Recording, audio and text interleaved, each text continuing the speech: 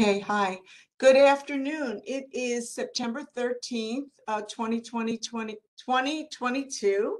This is our first Career Tuesday of the fall 2022 semester. And thank you all for joining us. And I especially want to welcome Nayati Patel, who is from GE Energy and Financial Services. So before I let you get started, Nayati, um, I'm not sure that I knew this, but I learned it today, is that you are, a, you are a UConn graduate. And Yes, I am. Graduated with a degree in finance in 2015, went on to get a biomedical engineering degree, God bless you, the next year. And you've been with GE uh, since 2015 with Mhm. GE Aviation and now GE Energy um, and Financial Services. So welcome. And Thank uh, you. before we get started, um, for the students that are joining us, here's the way it's going to go. We are going to have Nayati um, speak for a few minutes, maybe 15 or give or take um, minutes, and I'm going to ask her some questions about GE Energy and finance. And then um, she may have a couple of slides to share. At any point, if you want to put um, a question in chat so that you don't forget it, be my guest. And um, if not at the end, if you want to, um, you know, open up your video and um, show us your face and join us that way, that's wonderful also. Um, so anyway, um, so Nayati, since GE is such a big global company, Yeah, um, can you tell us a little bit about this area, GE Energy Financial Services? I know that you're based in Norwalk, which Yeah. is wonderful. So tell us a little bit about what this particular group does that you work for. sure. And here is where I'll attempt sharing my screen. Um, so let me share here. And Judy, if you wouldn't mind letting me know if you can see my screen. Uh, yeah, we can see it. Yes, Okay, great. perfect. All right. Um, all right. So GE Energy Financial Services, like Judy said, we're based headquartered out of Norwalk, Connecticut, but we do have um, satellite offices all over the world, um, including other locations in the United States, but including UK, Singapore, um, Dubai. So, so we're all over the place.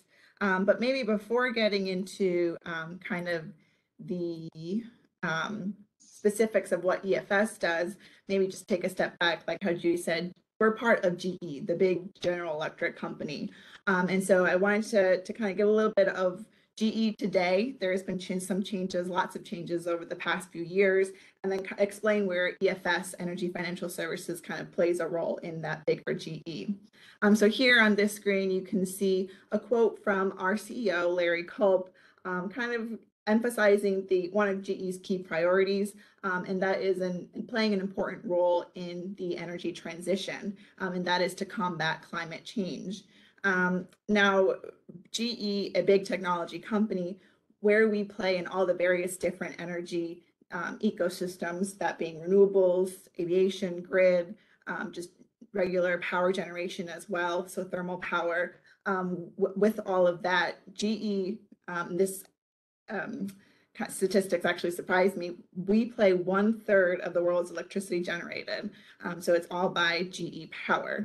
Um, and so GE is focused on playing, you know, an essential role in helping our customers um, achieve the um, global energy transition through these this already um, large footprint of GE technology.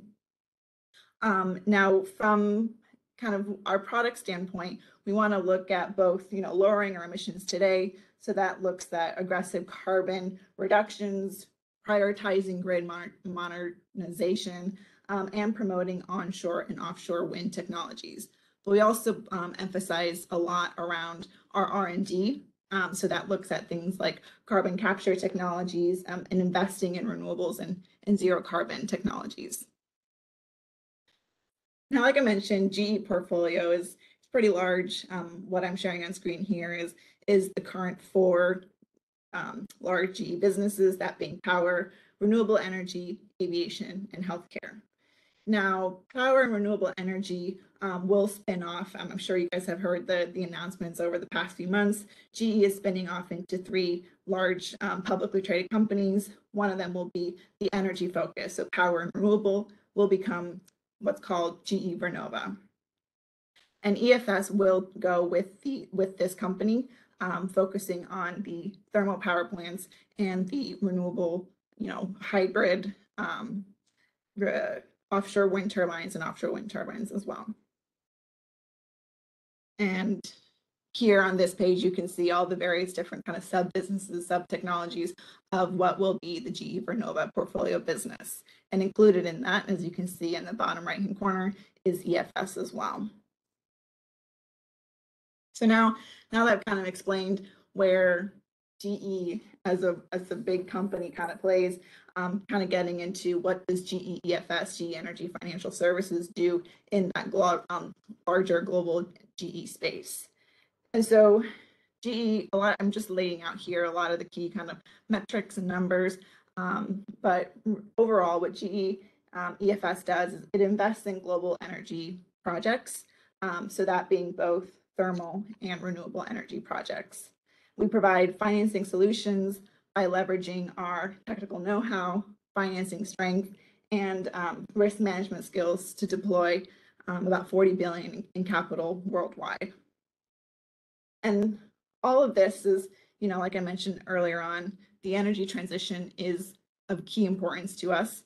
And so not only do we focus on deal structuring, but from to to to kind of um, get to that goal, we focus our teams a lot on driving strat- strategy, policy, and underwriting for decarbonization strategies as well.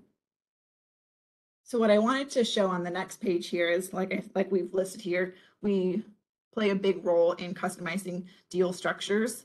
Um, just wanted to give an example here on a recent deal um, that GEEFS played in. And so this here is Block Island. Um, the picture in the background is the actual offshore wind farm. Um, Block Island is a 30 megawatt offshore wind farm located off the shore of Rhode Island. and so this deal actually started back in 2015. Um, and you can see in the timeline there on the right hand side, pre 2016 is when project and development construction started. Then EFS is where we stepped in and said, okay, we are willing to provide some sort of capital support um, to get this project completed and operating. And so that's where you can see in 2016, EFS played roles in deal origination, underwriting, which is basically looking at what are what is the project pro forma going to look like? Um, how is it going to perform? And will it be, will the economics be profitable to, to all sponsors, to all investors? and so then in 2016, um, we closed on this project successfully. And so in 2017 is when the project went into operation and GEEFS funded its, its capital contribution into the project. The project um, has been operating for since 2017. Um, and so GE played a portfolio management role in, in those years, making sure that the project is operating as planned. And then in 2022, so the beginning of this year, is actually where EFS um, decided, okay, well, now's a, a good time to sell off our stake into in the project. And so we had a team that was put together to to do just that. and so you can see in this, the structure on the left-hand side that there's a, a sponsor, a developer who is also an investor into the project, along with what's called tax equity. And so tax equity is a specific type of investing tool. It's not just straight up cash equity, but tax equity being someone who can um, utilize the tax credits that the US government offers for any wind turbine, wind plant, wind farm, um, both onshore and offshore projects. And so GE and very few others actually are um, in this market of participants who can actually utilize those tax credits. You need to have enough of a tax basis as a company to be able to utilize those tax credits. And so that's why you don't see as many players, um, investors in that space. And so that's how you can see that the sponsor here, it was Orsted, had come to us, GEFS, and um, Citibank as well, to, to be that tax equity provider to the project. And then here, I just wanted to list out, you know, as, as an analyst, you may wonder, okay, well, where in all this deal flow does an analyst sit? And it's really at every step that I listed out at the previous page, um, from origination to underwriting, to portfolio management to syndication. We rely heavily on the analysts and associates to own the financial model, perform due diligence, and really be that first um, person to to identify any key risks, especially as they're going through and owning the model um, to the to the broader team. So I know I I kind of spewed off a lot there, but um, maybe I'll pause there see if there are any questions from the group. I think that that was so helpful to see, you know, I mean, the scope of the projects, I, I know this one was close by in Block Island, but when you and I spoke, many of your projects are just globally all over the world. Um, right. but the timeline is very long. Um, you know, there's so many stakeholders, the timeline is very long. So I guess from a summer internship point of view and from knowing that these are students coming in that don't know the lingo yet, etc. yes. Um, like what are some skills that are important for them to come in so that they can then be indoctrinated and learn more about? GE? Yeah, absolutely. And that fits pretty nicely into to my next page here. We kind of laid out what we expect, what we plan for our interns. Um, so the role that you know we're looking for is a summer analyst internship. Um, and it's expected to be 10 weeks. Um, and so right now we're, we're looking for for folks to join for next summer, obviously, um, 2023. But for an intern, we look for uh, um, over the 10 weeks um, a few different areas. So one is the projects. We tend to, because it is a shorter time frame, we like to give um, assign various different projects, one per um, intern, usually depending on the scope, um, so they can kind of own that within that 10 weeks. Um, and it can be, you know, ranging from anywhere from, you know, investing to capital markets to asset management, but it's it's planned to be so that it's it's um, enough to to support during a 10 week internship. Um, not necessarily a longer deal cycle. Um, as you can see in the, from the previous pages, the longer deal cycle tends to be more than just the 10 week period. Um, but on top of just the projects themselves, we also do like to um, staff these interns on on a deal, um, though they may not see it from end to end.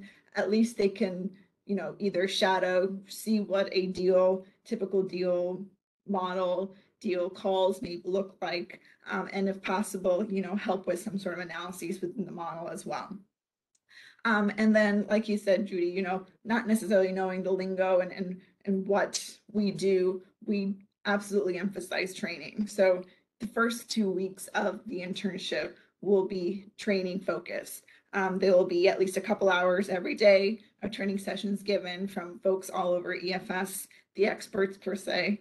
Um, and so we we definitely don't expect the interns to know everything, but by the time the, they get through the training, you know, hopefully have absorbed at least a little bit of it.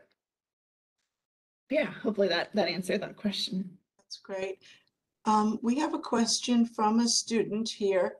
When it comes to the deal underwriting, um, is due diligence and assumptions made by analysts, or is the task done by a third party for? GE? That's a good question. Um, so we we rely heavily on the experts, um, and that's not necessarily the analysts themselves. So whether it's looking at things like the more technical engineering side, we have either in-house experts, technical ex- experts, or we will hire third-party um, experts, especially depending on location um, as well. So there's definitely, you know, it's even though I've written here that we support due diligence, um, it may be the support of, okay, well, we coordinate with the actual experts in whatever area that we, we are performing our due diligence in. Great. Um, um, okay. Um, I'm just going to ask another question. Anybody else raise your hand or in the chat, whatever you feel comfortable with. Um, but I do know some of the people that are on the call, some of the students are thinking about summer internship 2023. So can you comment on what you're really looking for? Is it the resume? Is it the interview process? And what makes a student stand out to you? Right, absolutely. Maybe if I first focus on just the process itself. Um, so what I've put here on the screen um, is what we're expecting as far as the schedule. Um, and it is, you know, dates are coming up relatively soon. Um, we have opened up the applications both in Handshake is where I believe UConn is is on, um, and then you know we've we've provided instructions within Handshake that we we ask that everyone applies through the GE Careers website itself, um, and so you know through the GE Careers website. The application due date is October 7th, so just under a month from now, I'd say. Um, and post, you know, after October 7th, we, we close it all out. We'll go through res- the resumes, everyone who's, who's applied.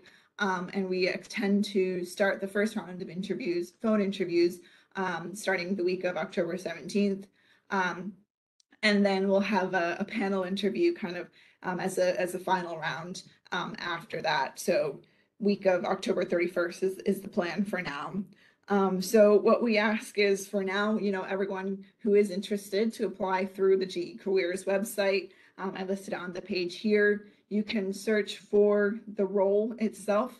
Um, if you want to remember this um, number here, starting with R, or um, you know, just just searching summer analyst 2023 internship, that could also work as well. There's a search function there. Um, but um, you, I mean, I think the application is, is simple enough in that you, you supply your resume and then we'll go through the resume, um, all the resumes as we go through screening. But for resumes, I think what we will be looking for, not necessarily someone who's kind of a just a finance major. Um, we do accept applications from finance, engineering, people who are generally interested in the energy space as well. Um, we, I think the type of people that do well here are those that are more analytical, um, have experience in Excel, um, not necessarily expert level by any means, but you know can can somewhat navigate Excel so that when it comes to the modeling work, the analysis, um, it, it, becomes much more easier to to do. Um, so yeah, as far as folks, students that that will be interested in, in interviewing, will be those who kind of show that that bit of background, an analytical background, not necessarily just finance, engineering, um, uh, an interest in the energy space in general. Fantastic. Um, I have two questions in chat. Um, uh, one of them was, um, I believe, from one of our seniors in Stamford, and she was wondering, besides the summer internships, do you have openings for entry level roles for full time as well? Mhm.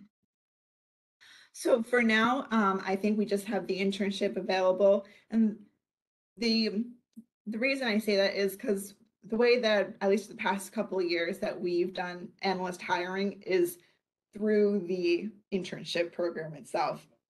So those that go through the 10 week internship, um, we use that as a 10 week long interview for a full time analyst position.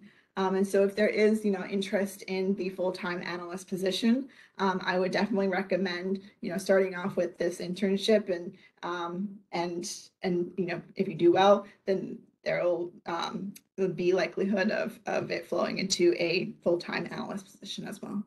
Exactly. And that way it gives the student and the company a chance to kind Exactly. of, It try goes it both out. ways. yeah. Uh, there was somebody else who had a question here.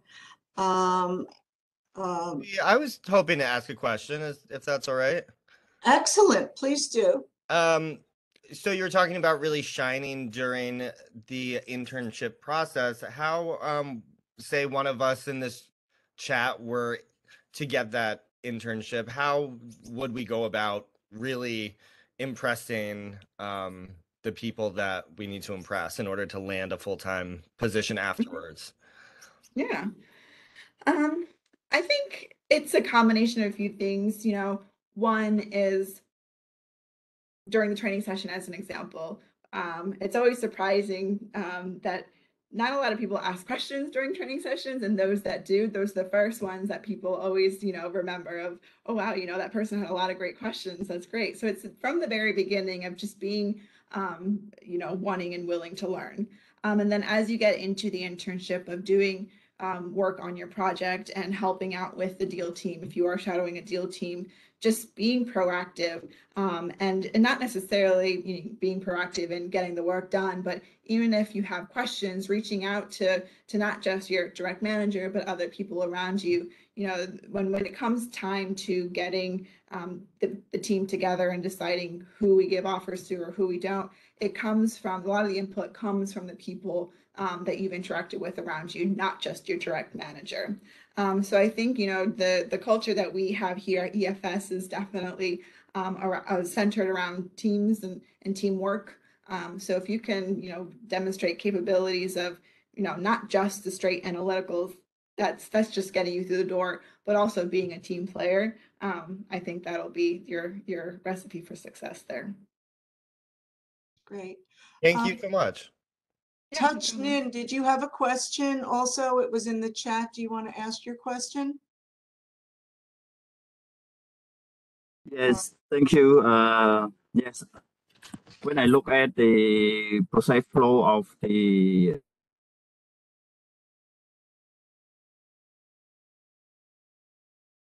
the process that will it have uh, the operational risk, but in the internship uh, uh, opportunity, I didn't see that uh, the operational risk uh, in terms of in terms it is av- available for uh, the our student. Yeah. Um, I'm, I didn't hear the end. For a master's degree student, is that what you said? Yeah, yeah, yeah, yeah. Okay, master and- and- degree student. Okay. Risk management student, is that what you're asking? Yeah. Uh, you know, uh, I attend uh, FOM in uh, at uh, UConn, uh, Stamford. So I interest on risk management internship. Okay. So I think, uh, Yeah. it- it's, the question is about whether or not graduate students, risk management, project management, whether or not that's your profile as well. Mhm. For right now, um, you know, we are looking at um, just a summer analyst position. Um, and so those tend to be filled with undergraduate. Um, if if we do, you know, end up opening up to summer associate, um, that would be where we would look at master's students. Um, so I know uh, um, not the greatest news for for your question, but I think right now the focus will be on undergraduate students for the summer analyst position. Okay, fair enough. Um, somebody else asked, um, do the resumes need a cover letter when they apply? I don't think so. Um, I think the let your your resume um, do the speaking. I think um, our HR team tends to focus more on the uh, direct resume itself. Um, so um, I don't think the G Careers website requires a field for um, cover letters either. Okay. Um, Shijun Shin, do you want to ask your question? I see your hand raised. Yeah, hello. Uh, yeah, I just want to ask because right now I am a uh, senior student in the, the University of Connecticut for my first semester, but I'm gonna graduate in December. So I just want to ask that if there are any job or internship opportunities I can uh, to start research from like uh, right after I grad graduate. With with EFS, uh, unfortunately, no. I, our first um, internship will be this, this summer 2023 uh, analyst internship. So nothing for, we don't have anything available right now for um, January, uh, between January and June of next year.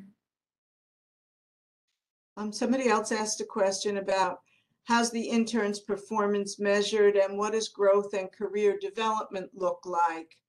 Um, so I think some of it you answered on Timothy's question, um, but anything that you can elaborate on regarding performance measurement and career development. Right. Um, so I think for from a performance standpoint, um, one thing that I you know forgot to mention around what the uh, overall internship entails is that not only do you go through your 10 weeks, but um, on that last week, you will have the opportunity to present your work, um, both your project and and any other um, work that you may have done, say for the deal team work to, and you'll, this presentation will be to our senior leadership team. So our CEO and her staff will be the audience for your presentation. And so this will be kind of your time to shine, um, your time to, to present the great work that you guys have done over the last, over the 10 week internship period. Um, as far as performance development, um, I mean, EFS, GE in general takes that very seriously. We, um, for full-time employees, we have, you know, internal, um, an internal HR system um, where we are to meet with our, we call them people leaders, our managers, um, on a regular basis to discuss um, how we are performing, um, how we are performing against the goals that we set at the beginning of, of the year. Um, for internship, obviously with it being a much more consolidated time frame, um, we try and do kind of mimic a, a similar approach.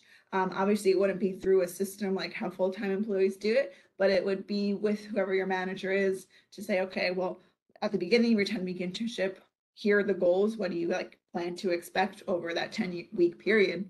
Um, and then kind of have in between touch points um, to to assess how you're doing, whether it's you know you're you're meeting the requirements, where you opportunities for improvement, um, and so on. So I think that from you know the the constant um, interactions that you'll have with your manager, um, and even you know informal mentors that you can create within throughout the the EFS team um, will also help in in um, in identifying either areas for improvement or or where you're doing great and, and continue to do so. Um, so hopefully that answered your question. Um, Nayati, were you recruited on campus by GE when you started?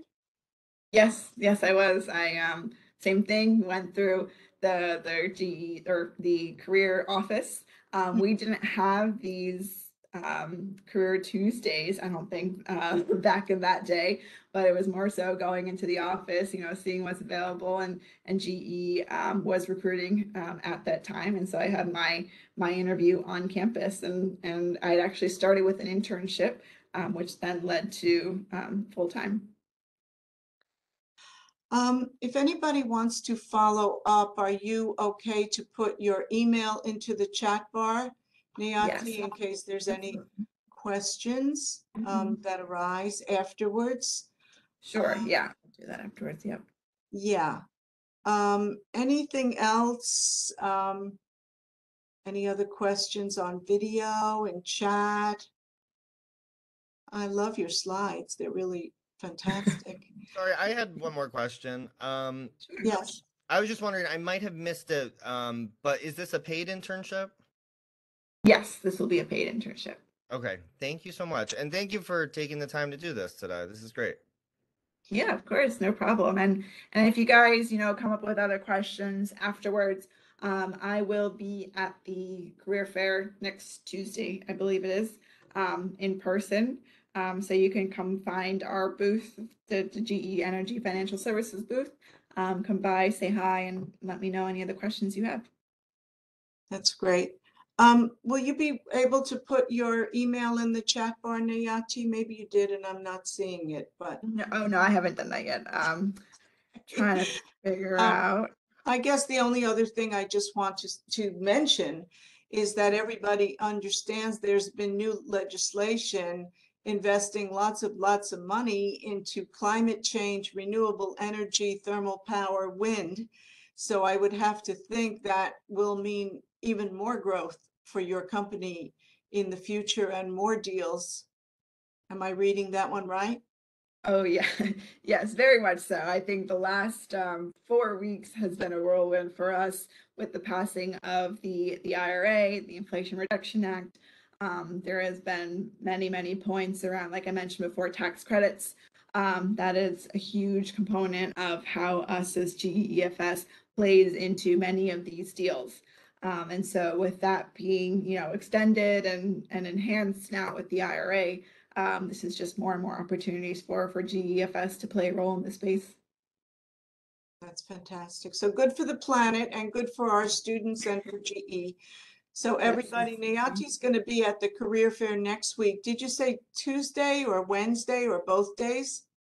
Uh, just Tuesday, the twentieth. I think that's next. Tuesday, yeah, the next 20th. Tuesday. Mhm. Okay, so please stop by. Um, you know, uh, it's good to get this experience on virtual. It's even better to get it in person when um, GE is on campus. So, um, wi- one of the questions, will you be coming to the Stamford Career Fair as well?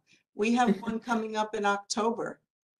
Okay, so unfortunately, I don't think we'll be able to do the um, the Stamford Career Fair. I think just with the the timing of things, we're looking to to get all our recruiting efforts done before our, um, if you recall, the October October seventh deadline that we have for That's our right. application Yeah. processes. So good point. Thank you for bringing that up again. So please remember the deadline is October 7th. So that means if we can help in any way regarding resume or practice interview or however we can support you best, please reach out to the business career centers on your campus and please ensure that you have the application in uh, before the deadline, which is October 7th. Um, and um, thank you, Nayati, for joining us. And we're even more thrilled because you're a UConn alumni. So thanks again. And all the students who joined us today, thank you very, very much. Okay? Yes, So, thank you. bye-bye. Thank you for having me Okay. today. bye-bye. Thank you. Bye-bye. Bye, Thank you. Thank Bye-bye. you.